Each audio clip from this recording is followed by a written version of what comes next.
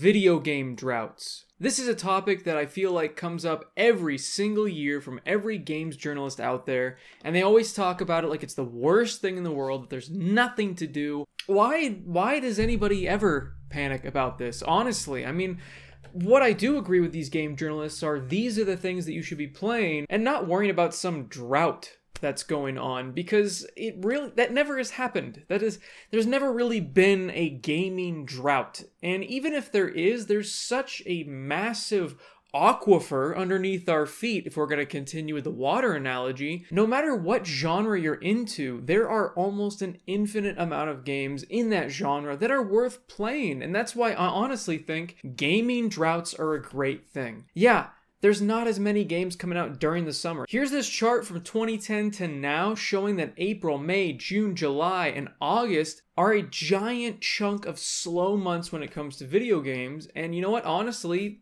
that's not a bad thing. We need this chunk as a break from all the massive AAA games and big hyped up marketing masterpieces that people are looking forward to because they're not always masterpieces, and a lot of the time they're overhyped. A lot of these games, yeah, they're making tons and tons of money, and EA, Activision, Microsoft, Sony, all these platforms love that we all buy these games and eat them up. But guess what?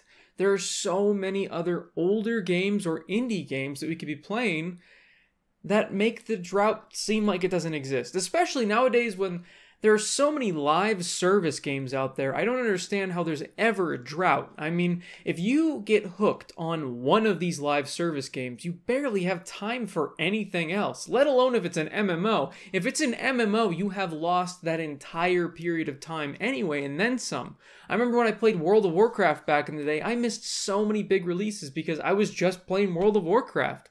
And a lot of people I've heard from that binge played that game for years said it was like stepping out of a time machine and they're just kind of looking around like, what have I missed? Oh my god, there's so many great games out here. What have I been doing? And then never went back to World of Warcraft again because they were missing out on so much.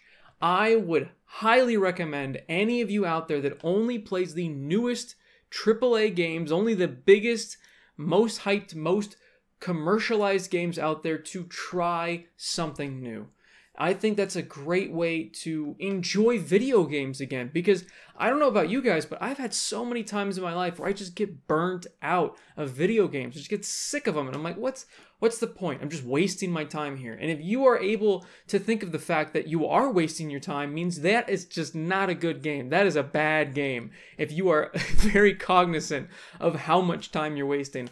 If you have completely lost track of time and it's now the next morning, that's the sign of a great game. Another sign of a great game is when you put the game down and you think about the next time you're playing it again. That is another amazing sign of a game, and I feel like I haven't really gotten that from a AAA studio in a very long time. I mean, look at this wall behind me of video games. How in the world are you guys beating all of these games? Again, going back to the idea of some sort of drought, some sort of lack of video games and lack of entertainment, when this, this exists, that's not even showing my Steam collection. Here are how many games I have on my Steam. Yeah, it's over a thousand because there are constantly new games coming out. And no, I did not pay retail for all those. In fact, Humble Bundle is a, one of the giant contributors. All these different bundle websites have contributed so much to my game collection. And honestly, yeah, I don't play a lot of those, but there are a ton of hidden gems I would have never even touched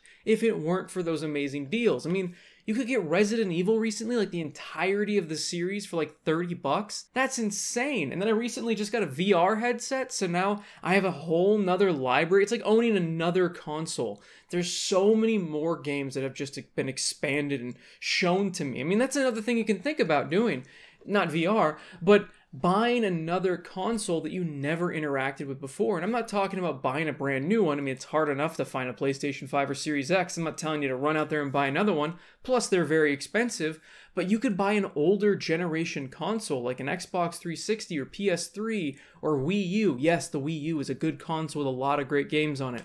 Please don't just dismiss it. I guarantee there's some great games on there for you. But if you go back to those other consoles that aren't hyped up, that aren't having people lose their minds and scalp all over the internet, you're going to be able to buy this system for really cheap or in a bundle with a ton of games, and now you've given yourself just hundreds of hours of content. Hell, you're looking for hundreds of hours of content? Go play some RPG or some giant game that you missed over these years, because I guarantee you've missed one. Maybe there's been a game that you've been thinking about buying for a really long time, and you've just been waiting for it to go on sale, and then it finally does. I mean, that's another way that you're playing new games and having new experiences. So, again, it's so weird to hear that there's a drought. I mean, Cult of the Lamb just came out, and I know, again, that's not a big AAA game, but it's an indie game that is absolutely blown up. And those are worth paying attention to. And they're also a much cheaper price tag than a lot of these games. As the games industry shifts towards more monetization, more expensive base game prices, like $70 for a game. Look at indie games. I mean, 25 bucks for that game. Slay the Spire is constantly on sale. I think it's $20 even just full price. And honestly, for 20 bucks, I recommend that game. I mean, there's so many other genres out there you probably haven't even heard of. I mean, I'm sure a lot of people out there have heard of Slay the Spire, Monster Train, and other games like that, but they've never really tried a deck builder game before. It just seems daunting, it seems too difficult, but it honestly is worth trying. And there's a lot of other genres out there that look daunting at first, but once you sink your teeth into it and give it a chance, you might find that you really like these games. I mean, if you're looking for a game, to just sink a whole ton of hours into. Look at the RTS series. I mean, if you look at Total War, Warhammer, any of those games, you're dumping hundreds of hours. I mean, even Age of Empires 2 remastered or whatever the hell it's called nowadays. There's like remastered H I don't know. There's a bunch of them pick up one of those. You're going to have so much fun if you enjoy that type of gameplay. But if you don't, again, there's so many other games out there that I'm sure will fill your needs. And the thing is, I mean, like talked about in a previous video that first person shooters really don't have anything new going for it, but the Master Chief collection's still available and it's phenomenal. If you love FPSs, give that game a try. Doom. I mean, this the two new Doom games are phenomenal. There's so many games in every genre that I guarantee that you've missed some.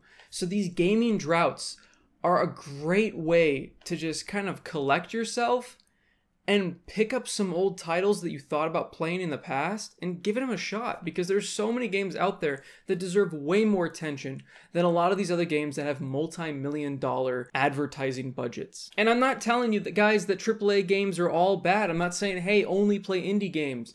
I play everything, and I will always encourage everyone to do the same because the more that you enjoy in life, the more enjoyable life is. It's that simple. So let me know what you guys think in the comments down below. If you're going to take this chance and this opportunity to start taking these gaming droughts and actually delve into different genres and try something new. I mean, it doesn't matter what year it is. I mean, if this if you're watching this 2 years from now randomly, do it again. All the games that came out this year now they're cheaper. Congratulations. All those games are so much cheaper. Nine times out of 10, games do not go up in price, they plummet, which is phenomenal for us, the customer, because it means we get to have a lot more experiences at a lot more affordable prices. So, yeah, let me know in the comments if there's any genre you're going to check out or any game that you've been thinking about for a while that you're finally going to pull the trigger on. Of course, like the video if you guys liked it and subscribe for more content. And as always, have a fantastic day. See everybody.